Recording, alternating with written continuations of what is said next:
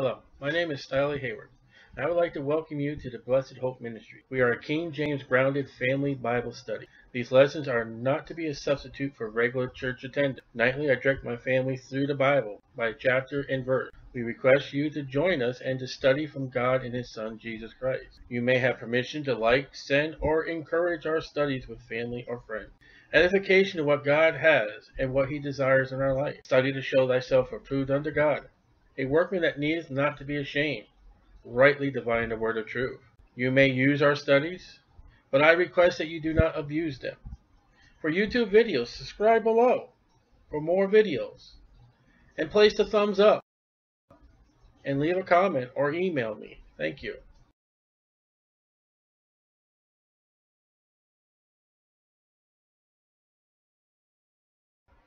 As we pick up in the book of Philemon, we read verse 7. For we have great joy and consolation in thy love, because the bowels of, thy, of the saints are refreshed for thee, brother. What does our Christian lives do?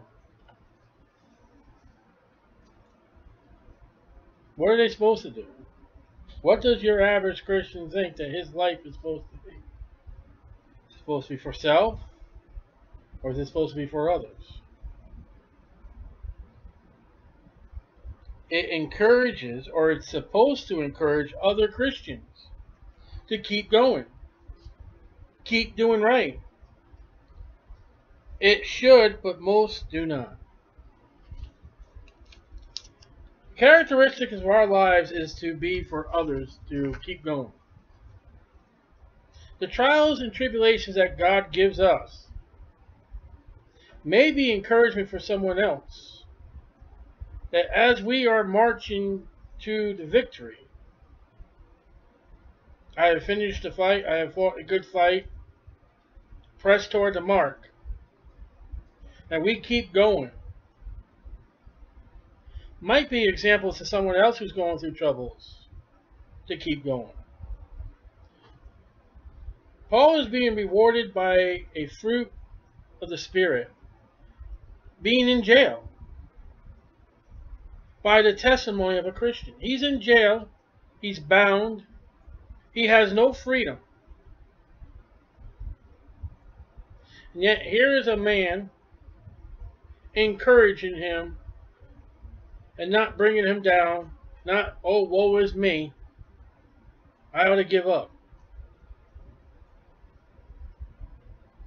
I have seen what WWJD, what would Jesus do? But what about WWPW? And you say, what is that? What would Paul write? And you, you say, well, what is that about? What are you talking about? What would Paul write? If Paul knew about the Church of America in 2017, what epistle would he write to America? It's written to seven churches. Uh, seven, and Timothy and Titus, Philemon, maybe Hebrews. Corinthian church is a carnal church. If Paul was living today, and by the Spirit of God, Paul, I want you to sit down and I want you to write an epistle to the American churches. What would he write? What would be the state? What would Paul write about you? If you were to write a letter, epistle to Philemon, but instead of Philemon, what it would be you or me? What would be our strong points, if any? What would be our weak points, many? Are we helping or are we destroying?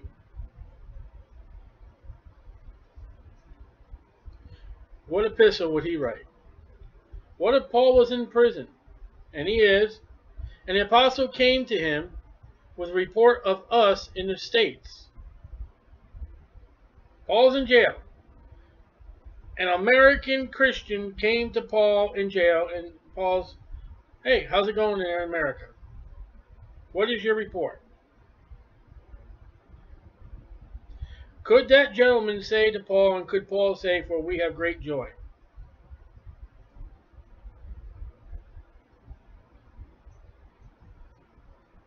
What is the testimony that we hold? And not only as Americans, but as individual Christians. This book is written to an individual Christian. Verse 7 is written to Philemon. Consolation. Again, remember where Paul is. He's in jail. The 1828 Webster's Dictionary states comfort,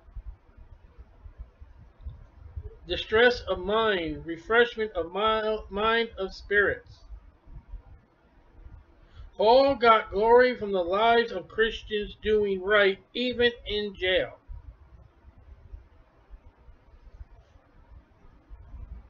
Do you support a missionary?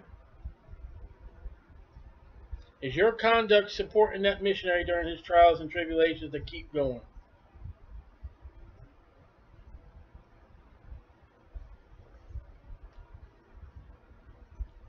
That took the that took the ministry out of the jail. It was what kept him going. He wasn't in jail.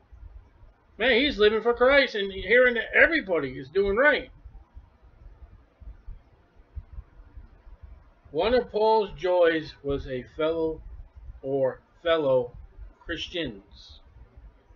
One Philemon. That was his joy. He said, What is my joy and my crown to one of the, to the churches? It's you. The soldier on the battlefield longs to hear good news. Any news from home. He doesn't want to hear that his wife has been sleeping around commit adultery. He doesn't want to hear that. He doesn't want to hear that his child may be in a hospital. He don't want to hear that his mother is on a deathbed. He doesn't want to hear that his hometown's been destroyed by a flood. He wants to hear good news.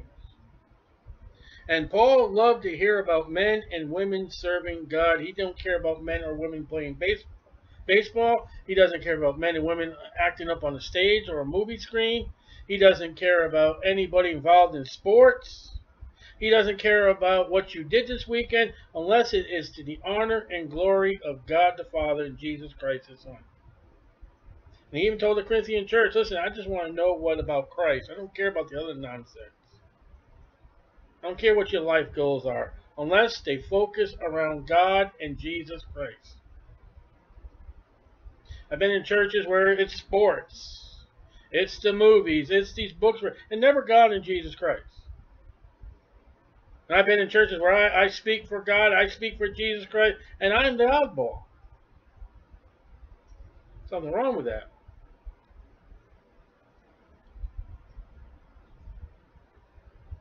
Where there was trouble, he took charge right away and addressed it, especially the Corinthian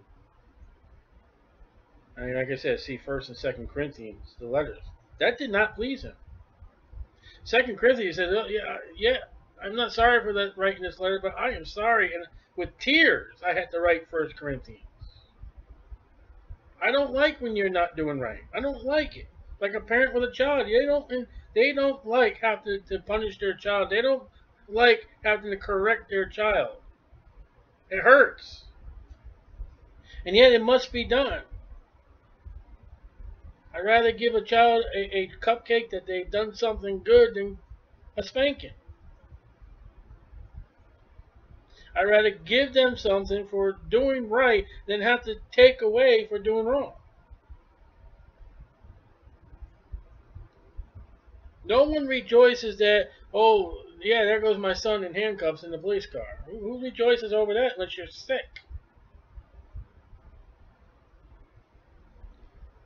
And what stands out in Philemon? Faith and love. Now, people can go to stores, they can buy all the love plaques they want. They can get all the scripture signs with, with faith. Going to nail it to the walls. They can put it on their pillows. But are you living faith in love? Is it a verb in your life? Or is it just a bunch of monograms?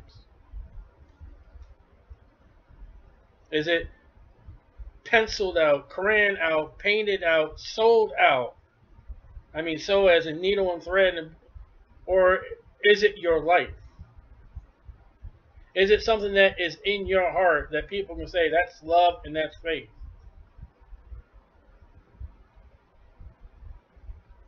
No, he, has got he's got curtains that say faith and love on. Well, what about him? I don't know. I don't know.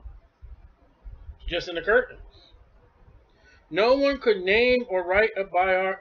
No one could name or write a biography of a Christian and call it Scrooge. Scrooge is not a name and not a title for a Christian. And yet there are Christians who are Scrooges. Now I am bah humbug for Christmas. Christmas is pagan. I am bah humbug for Halloween. I am humbug about church traditions. I am humbug about simple, easy believism. But to edify and to help and gain for another Christian, I am not bah humbug.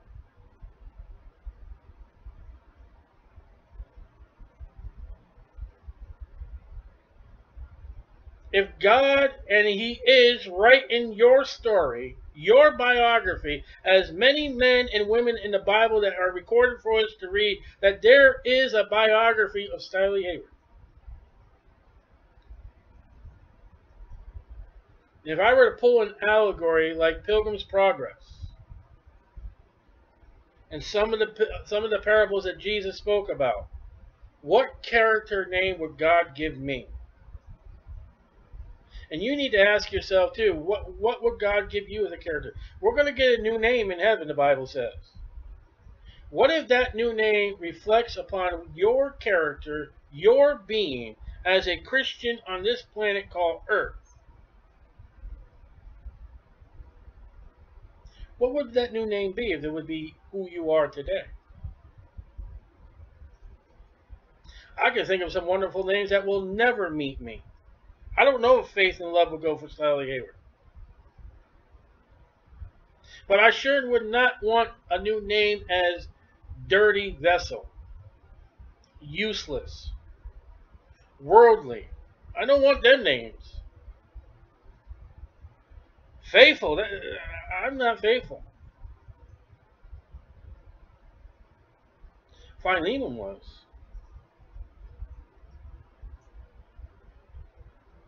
Nor would such an ambassador of Christ be called a miser.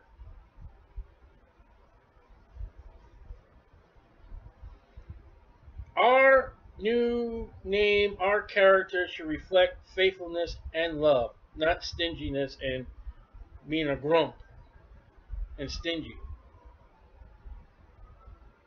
People are trying to get to heaven by helping drunks, drug addict, addictors, teen pregnancies, they are doing it without faith in Christ or without the love of the Holy Spirit.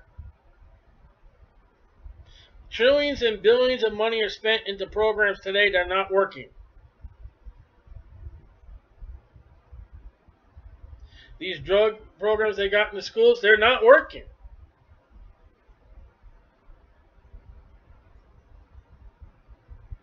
There are more teenage pregnancies today than there have been not working. Because you're doing it without God, you're doing it without the Bible. It's not going to work. You can't set a person out to improve his life, having him think, well, you're going to fall. What is that? How about I can set you forth in your life on Christ Jesus? Built upon the gifts of the Holy Spirit, if you are to do right and do what the Bible says, you will have victory and rewards. And yet there's suffering. There'll be trials and tribulations. But in Christ, you still can get the victory.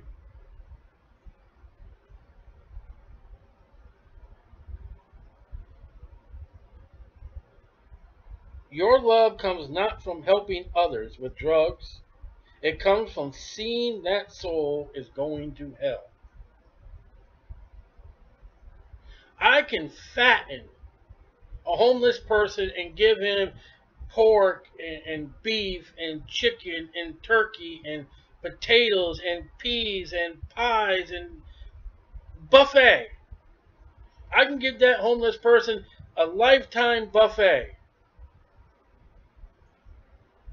And yet, if I do not give him the gospel of Jesus Christ, and he does not learn what God expects for salvation, he'll just burn that pork and that beef and that vegetables in hell for all eternity.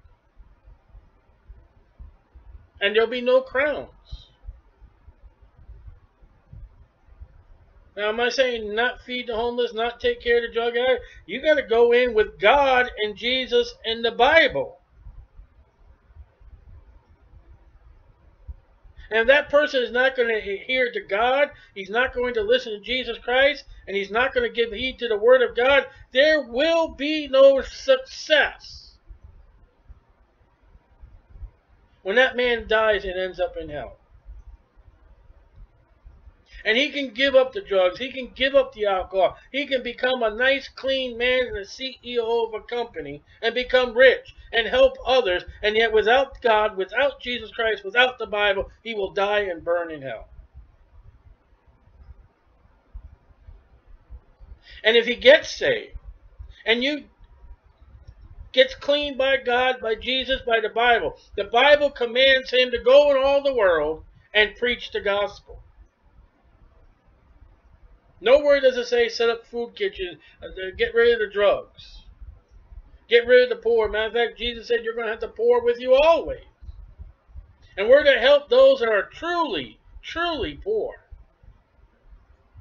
But our main mission is go all the world and preach the gospel. If we have that love, God can use us as proper vessels holy for his service. If we're really concerned about the lost man, and we're really set upon God, Jesus, and the Word, we in turn will keep our lives clean by the blood of Jesus Christ. We will look out to what we're doing. We will look out to where we're going.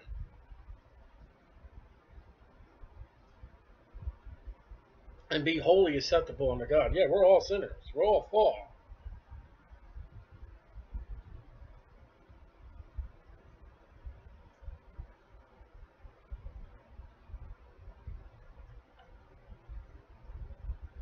And I don't think it was Philemon who told Paul of his faith and love.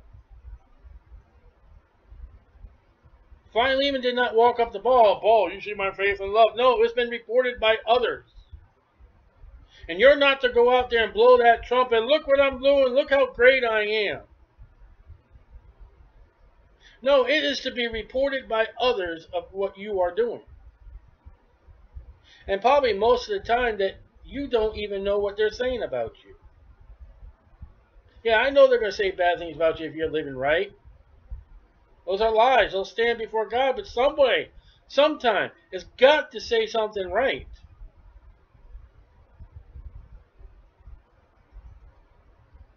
And you don't need to blow your own horn. Because you start blowing your own horn, you start bragging about yourself, then that's a sin.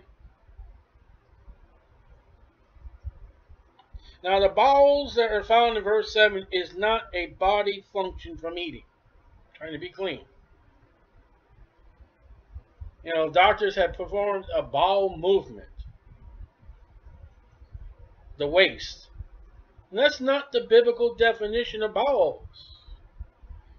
Take off the E, you get a bowl. utensil that, that is has a hole inside of it to carry to hold substance.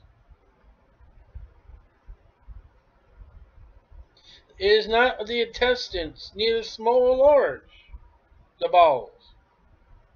As far as Scripture goes, it's like when you read the word perfect in Scripture, that doesn't mean 100%. But you're going at it at your best ability that God's given you. That's the definition of, of perfect in the Bible.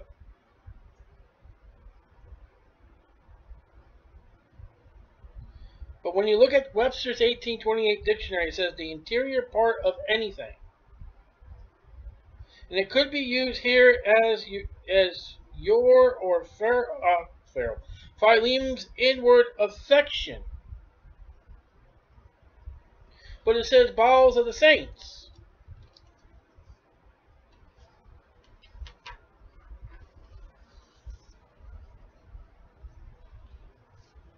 So, for we have great joy and consolation, comfort, joy, rest in thy love, because the bowels of the saints are refreshed by thee, brother.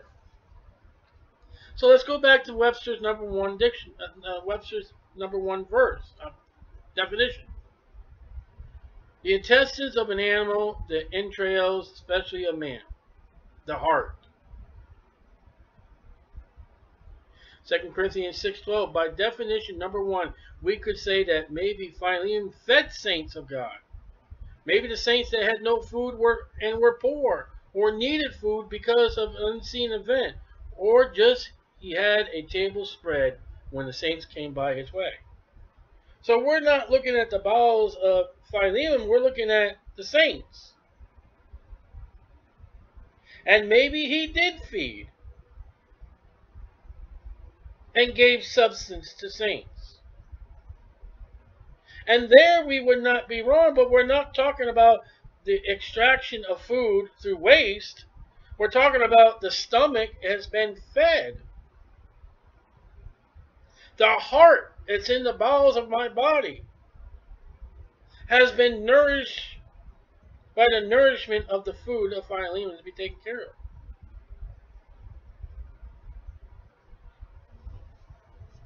If the heart, 2 Corinthians 6.12, maybe the hearts of the saints were kept on the Lord, to the Lord, by encouragement of Philemon. Maybe the, the bowels of the saints of their heart inside of them, maybe their heart was strengthened, which is inside the body,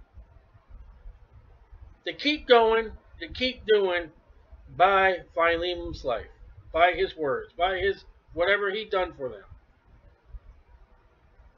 Maybe the life that Philemon produced in these saints was the inside their bodies was just not for eat, drink, and be merry, but for the honor and glory of Jesus Christ.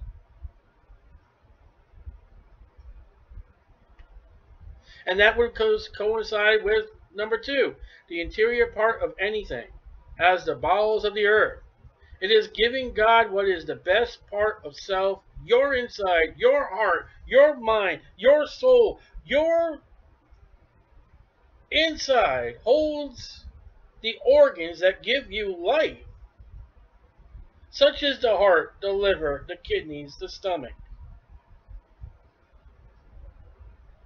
Inside that rib cage. Inside of you, who you truly are.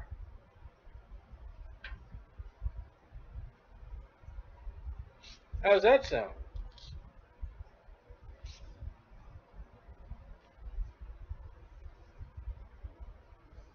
Let me ask you, Christian. Could Paul write what he just wrote about Philemon?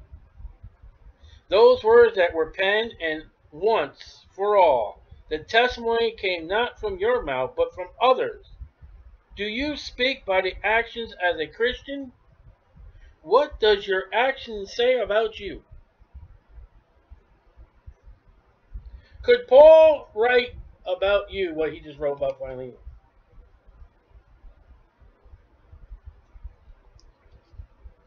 Saint, let me ask you a question. What about that Christian over there? What about him? What do you guys say about him? Could that saint say anything near or about what was said about Philemon? Man, uh, you, you were distraught. You had problems. You were going down. What picked you up? Oh, the words and the comfort Philemon. Man, he helped me, got me through, and got me right back on Jesus Christ.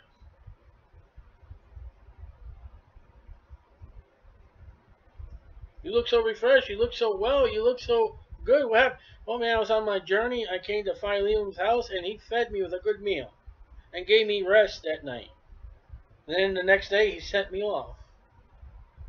In God's blessing. We prayed.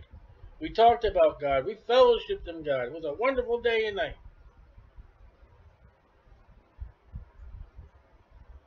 Then again brings us to verse 1. Oh, wait a minute. I skipped it. We talk about refreshed. Are refreshed by thee, brethren. Again, Webster's 1828 dictionary, to give new strength to to relieve after fatigue. Number three, to re- revive, to uh, to look. It's to help after depression. Looks to me that time saints in verse 7 were in trouble. By the definition sought in Webster's 1828 dictionary, there was trials, there was tribulations, as they will fall for all men, but for Christians, the saints. They were given aid, they were given comfort, they were given strength to continue on. Now, the strength, we can say, yes, we can go back to eating. Fatigued by no food, no water, fasted. Paul said fasted and, you know, suffered of, of food and not lack of food, suffering of lack of water. The pearls of Paul. And when I came to Philemon, he fed me, fleshed, to build up my character. And also it can be that in trials and troubles in, in my heart and the spiritual part of me and the soul part of me was down. It was I was just ready to give up. Just ready, I just couldn't handle it. And then when I came to Philemon, he strengthened me. Not of food, but of words, of prayer, of comfort, of being about Jesus Christ. And God is able to use someone else to help you in those things. It's what a pastor's supposed to do. It's what your church brethren is supposed to do. They're supposed to lift you up and help you out of troubles. As you are supposed to be to lift someone and help others out in your church. As they would help you, you help them whether physical or spiritual, that the love that Philemon gave, it could have been food, it could have been thoughts, it could have been money, words, whatever it might be, he relieved them of their troubles. And that is not being selfish. But it pleased the saints. It pleased Paul and it gave comfort to Philemon and to God, and not necessarily in that order.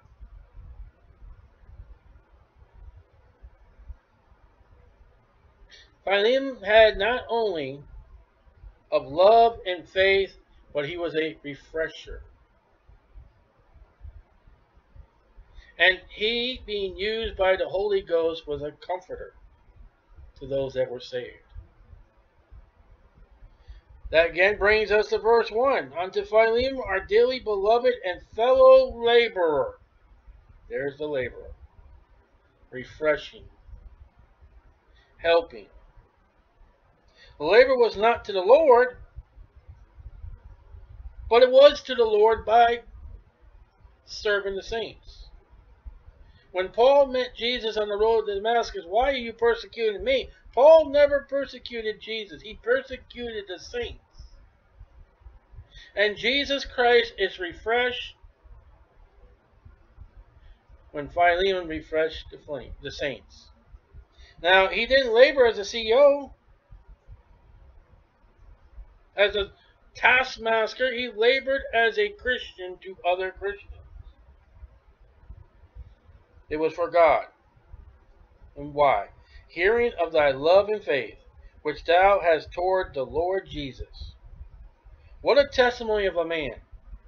God was able to use Philemon to help God's children.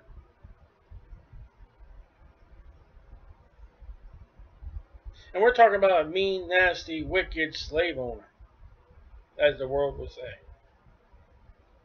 I would read it as a guy who is read and who is adorned and lifted up by God to even have his name among the 66 books of the Bible.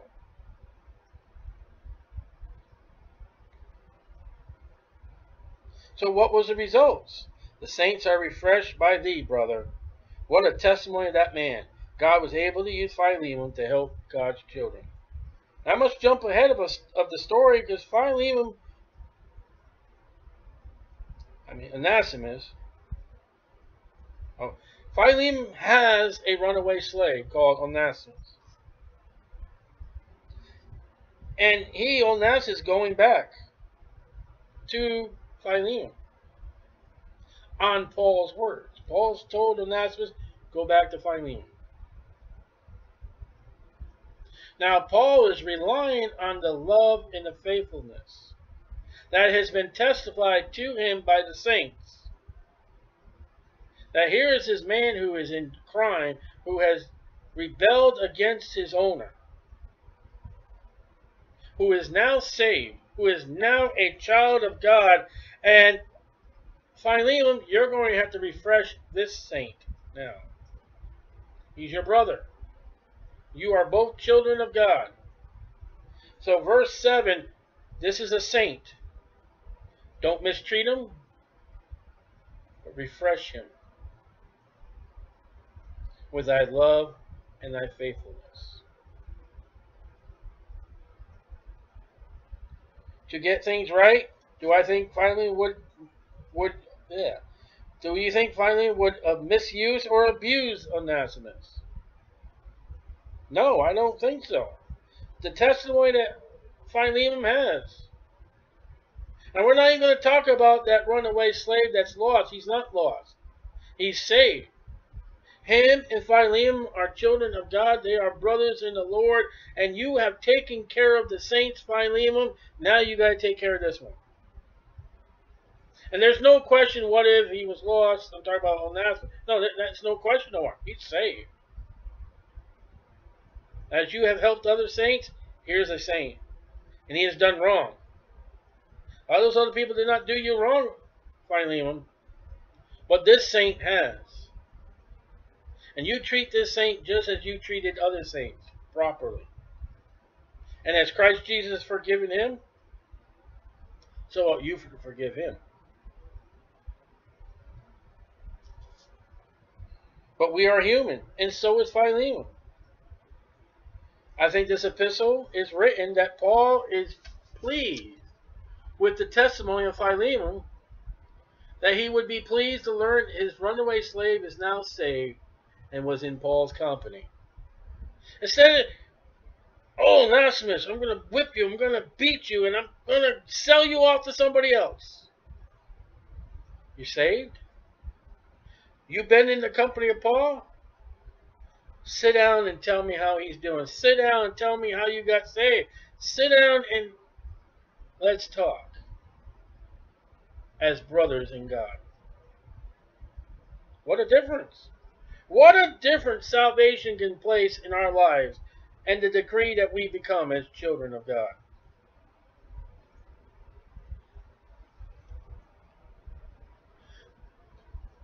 interesting that it, interesting what is found in the Old Testament, the law. Deuteronomy 23, 15, verse 23, 15, 16. Thou shalt not deliver unto his master the servant which is escaped from his master unto thee. He shall dwell with thee, even among you, in that place which he shall choose in one of them gates, where it liketh him best. Thou shalt not oppress him.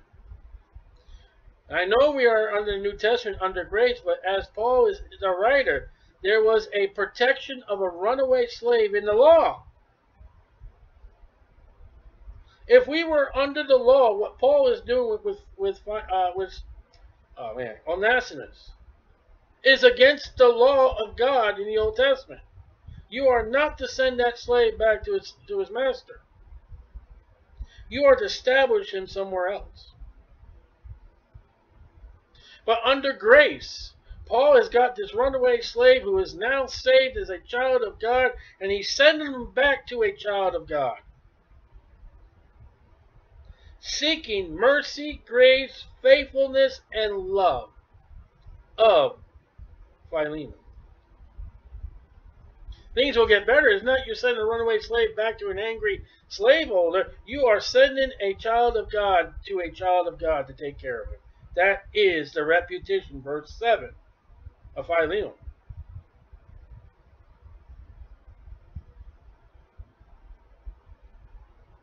I know we are in the New Testament again, but there was a protection of the runaway slave.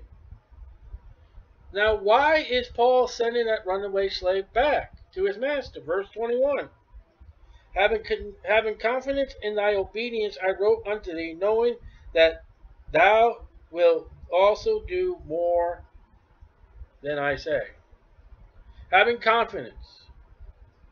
Paul knows that Philemon will not do him harm.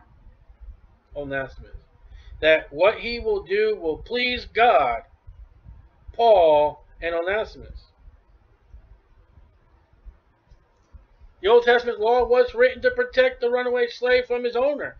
Paul knew or had strong confidence in Philemon and knew that Onesimus would be safe once he found out about his new brother in Christ. How's that? So you don't send that runaway slave back in the law because he might be mistreated, he might be killed, he might be sold, he might be given even worse hard bondage of rigor. Paul's like, no. That is not the character of Philemon. If I send him back there, he's going to get love and care, and he's going to get a church. Verses 1 and 2, the church that's in your house, Philemon, he will invite Onesimus in his living room. Oh my God, we're going to have a living room church service. Ladies and gentlemen, I'd like to have you introduced to you Onesimus. He was one of my slaves. And now he's a child of God, and he's been with the Apostle Paul. And maybe I give him a testimony, you speak to all about how Paul's doing and what's going on with Paul's life as we welcome to our living room church service. Er, Paul has confidence in this Christian named Philemon. Look at the Bible. What it com- look at the Bible when it comes to runaway slaves or servants. Genesis 16, you find the story of Hagar, the Egyptian handmaid. Now, she's not really a, a, a slave; she's a servant. But after she and Abraham had, had produced a child, when Sarai dwelt hardly with her, she fled from her face, from Sarai's face. She ran away. And we are not told the story of Manasseh, whether it was right or wrong. Hagar ran because Sarah was mistreating her. Now, some assume that Onesimus stole money, but I don't, I don't see that here. We'll study that out. Cruelty. Hagar leaves. And she doesn't get far at all. And the angel of the Lord her. The first time the angel of the Lord shows up in Genesis 16, he shows up to Hagar at a fountain of water. John chapter 4. And he says unto her, Return to thy mistress, and submit thyself under her hands. The angel of the Lord is the Lord Jesus Christ before his human form, Jesus Christ, through the angel of the Lord, told Hagar to return and submit, just as Paul is doing to Onesimus. Now, how was Hagar treated by Sarai after? We're not told. We are told that she blesses God, gives the name to, to honor God that seeth her, and then next you know, she has the baby, and Abraham was 99, something like that, years old when he bared and named the child Ishmael.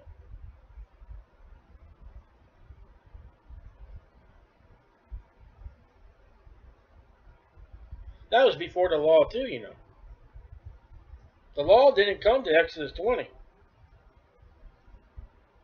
And the law left man when Christ came out of that tomb alive and well. Very important, that would be the very important thing for old Onesimus to do. Return and submit to Philemon as hard as going to say, and I, I don't think it. He is Philemon's property. And that's the number two reason why Paul is saying you go back to Philemon. He owns you. He paid for you. And we get the greatest example of that in the book of Corinthians that we are not our own. We are bought with a price by the blood of God, Jesus Christ. Acts 20 28, purchased by God. We are not our own.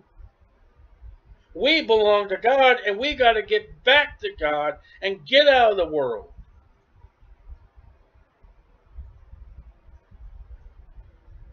Philemon pictures me. Before I was saved, I was a runaway slave running away from God. Now that I'm saved, I got to get back to God and submit to God.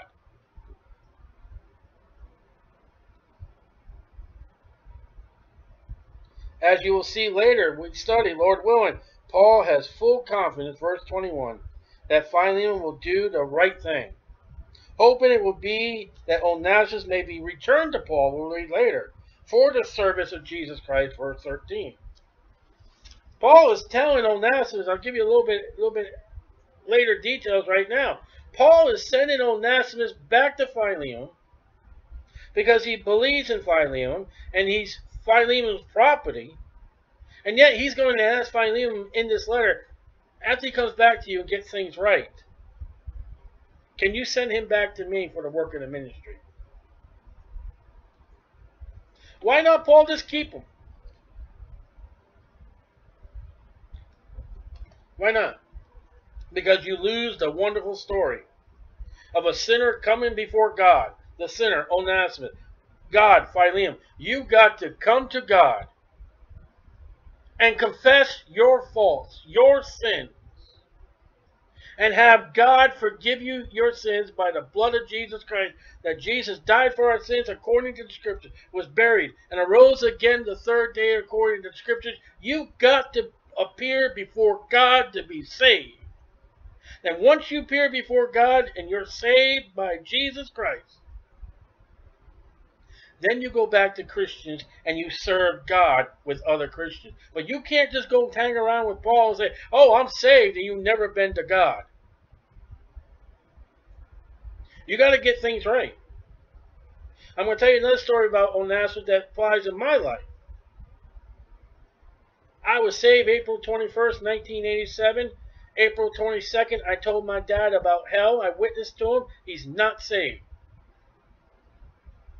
I don't know how long a time after that was, but I sat down and I wrote my dad a letter. I knew my dad knew, but I said, Dad, I stole money from you. I have no idea how much I stole from you. But if you're to give me a number right now, a, a, a, money amount right now, I will somehow, within my time, I will make up that money I stole from you. I wrote that down in a letter. I went to my dad, Philemon. I said, listen, I'm saved now. I'm a Christian. I've got to do right by God. And one of the things I got to do is I got to get right with you, Dad. Even though you're lost. Doesn't, doesn't match this story. But I was nice I went to my dad and I said, hey, this is my crime against you.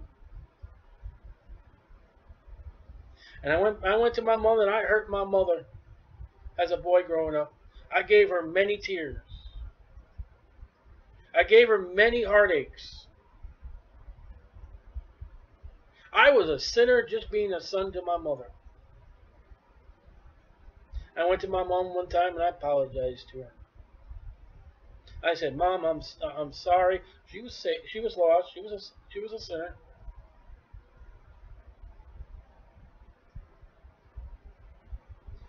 And before my wife went home to glory, my mom got saved. After my wife died in, in September of 2010, about a week or two weeks after that, I realized I was sitting down talking to my mom, and we were talking about Jesus, we are talking about heaven, we were talking about the Bible, and it just dawned on me, Mom, I just realized, you got saved, didn't you? She says, yes. My mom has MS right now, and she wants to go home in God's time. Christian, If you got a door that is closed and behind that door you've got people that you've hurt, that you have suffered to, that you have done wrong to, you need to take that door, open it up one by one. You need to get right with people. Jesus gave a, proper illustration. You know, before you bring your offering, go get right with the person that you've wronged. And that's what's happening with Onesimus. That is what Paul is settling with Onesimus between Philemon. You get it right, and if you get it right, oh Philemon, will you send him back to me?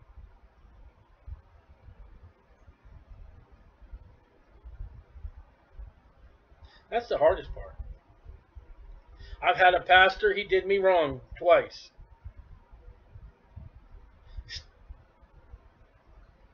And maybe, I don't know if there was any wrong by me, probably is, but I have written that pastor twice and told him whatever faults I have done, I ask that he forgive me. I believe the first one I didn't do nothing. I was just innocent, new, really newborn babe in Christ. And that guy has sent letters back to me, screaming and hollering at me in, in, in his, you know, ivory tower. How there, you know. I tried to get right with that one. But he didn't want me. He, he forget, you know, when somebody comes to you and asks for forgiveness, you're supposed to forgive 70 times 7, but he won't. But I tried to make that avenue straight. And that avenue has become a dead end. For him, not for me. There were times that, you know, I was concerned, hey, I, maybe I've done wrong. Maybe I got to get it right. And I've done what I was supposed to do.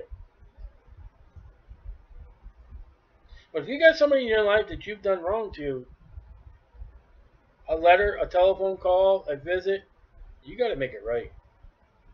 I'll tell you something else after you get right, before you get right, or after you get it right, whatever they, they forgive you, whether they don't forgive you, you got to go to them with the gospel of Jesus Christ.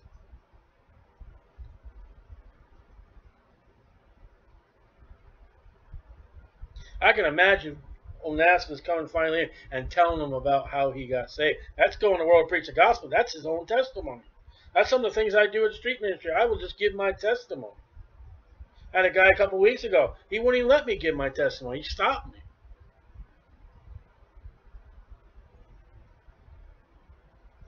I wish the Holy Spirit would, would have recorded what happened when Onesimus came to Philemon. That would have been wonderful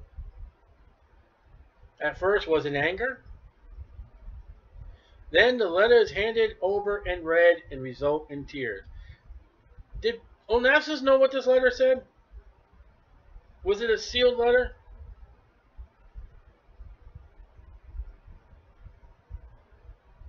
And look at the different lot of Uriah and David's letter to Joab. Uriah held a letter saying, put this guy in the hottest bottle and kill him. Onesimus, hand this letter to Philemon. He's saved. He's your brother. There must have been a hail of hallelujahs, amens, tears, and joy that afternoon or morning when Onesimus came before Philemon.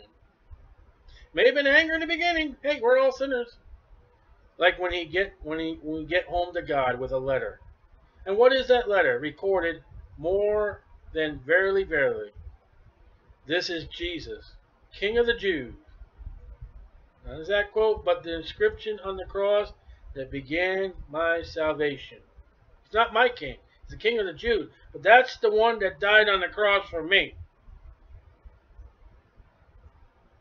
And I carry that letter to God, Philemon, and say, I'm coming home on the merit of your son, who, who is you. Finished by the angel's word. He is not here he is risen. That's the gospel. Jesus died. Not only so, they buried him and he arose. What happens now? Philemon has a servant that's saved that is a worker. That's what Paul's, Paul's going to say. And we're going to stop right there. what a place to stop. Get you catch up next week. We learn more about Onesimus coming home to Philemon. What a wonderful thing.